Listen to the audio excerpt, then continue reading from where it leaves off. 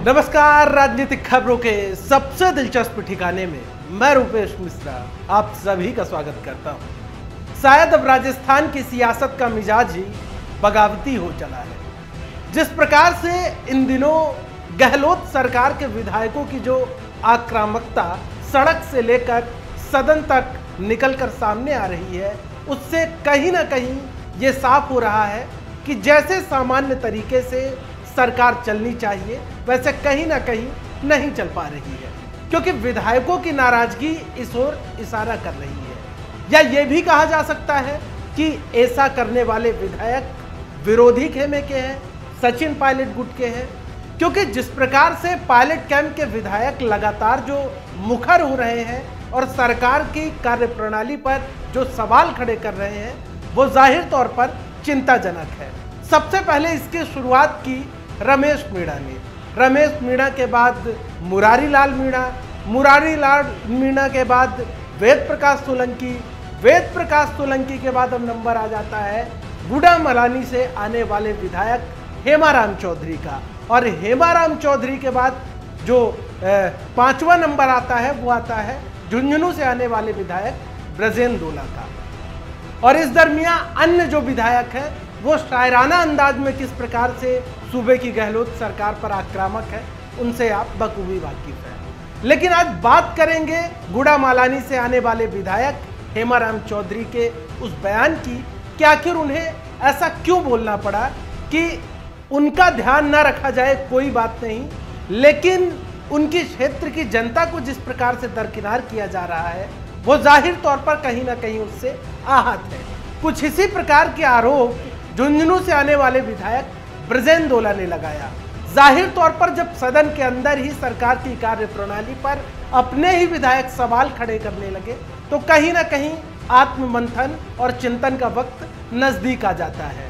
इस मामला पर आगे तफ्तीश करेंगे, लेकिन उससे पहले एक बार आपको सुननी चाहिए कि सदन के अंदर हेमाराम चौधरी ने आखिर कहा क्या। गुड़ामाल जनता का पैसा। कितनी मुश्किल से वो सड़क स्वीकृत करवाई। मेरा जी जानता है और उस पैसे को खा जाए और मैं देखता रहूँ।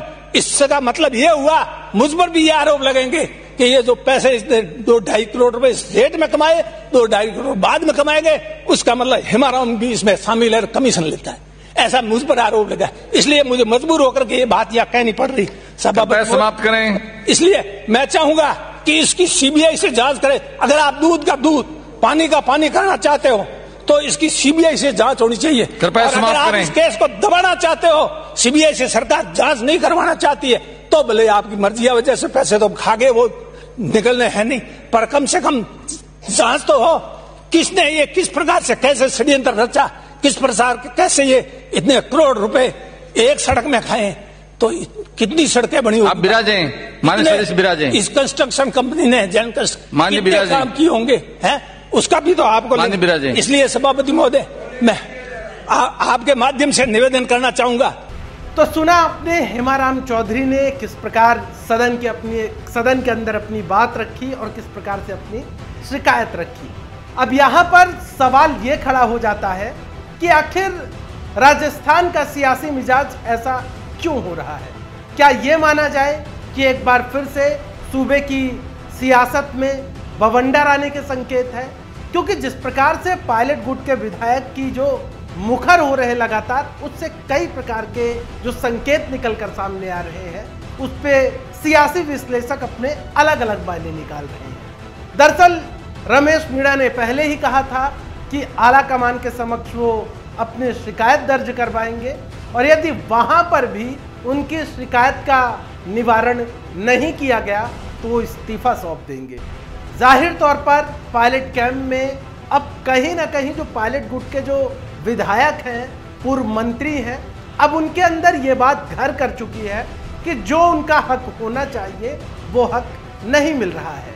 क्योंकि जब सूबे की सियासत में बगावत का दौर चला था, तब आला कमान के समक्ष पायलट गुट के सभी विधायकों ने अपनी शिकायत दर्ज करवाई थी। और उसी दरमियान ही एक कमेटी गठित की गई थी कि पायलट कैंप की जो भी शिकायतें हैं, वो कमेटी उसका निस्तारण करेगी। लेकिन इतने अरसे बीत जाने के बाद भी हालात जस के तस बने हुए हैं। राजनीतिक नियुक्तियों के दूर दूर तक कोई संभावना नहीं है। मंत्रिमंडल विस्तार कब होगा, इसका दूर दूर तक कुछ नज़र नहीं आ रहा। तो कहा जा सकता है कि कहीं ना कहीं अब पायलट कैंप के अंदर का जो पायलट गुट के जो नेता हैं, उनके अंदर का जो सब्र है, अब वो जवाब देने लगा है। क्योंकि सियासत का बेहद पुराना दस्तूर रहा है कि यहाँ कोई इंतज़ार नहीं करता। और अब ये इस बात को घटित हुए तो साल भर हो गए। तो क्या ये माना जाए कि राजस्थान के सियासत में अब एक नई रणनीति सियासी पटकथा लिखी जा रही है और राजस्थान की सियासत अब नई करबट बैठने वाली है? क्योंकि जिस प्रकार से पायलट गुट के विधायकों की जो लगातार आक्रामक, आक्रामकता देखने को मिल रही है, उससे बिल्कुल ये साफ़ हो जाता है कि जितनी शांत राजस्थान की सियासत नज़र आ रही है, उतनी है नहीं। क्योंकि फ़ोन टैपिंग का जिन्न निकल चुका है और इस फ़ोन टैपिंग के जो जिन्न ने पिछले तकरीबन तीन चार दिनों से जो सूबे की सियासत तल्क कर रखी है, वो भी किसी से छिपी नहीं है। भारतीय जनता पार्टी के नेताओं की मांग है, इसकी सीबीआई जाँच की जानी चाहिए।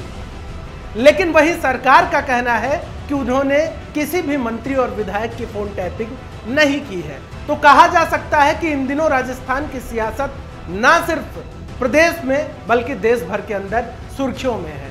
बहरहाल, इन्हीं सुर्खियों के बीच अब देखना यह होगा कि जो यहाँ का सियासी मिजाज है, वो क्या रुख पकड़ता है। दोस्तों, कल फिर हाजिर होंगे सियासत की दिलचस्प खबर लेकर। तब तक के लिए नमस्कार।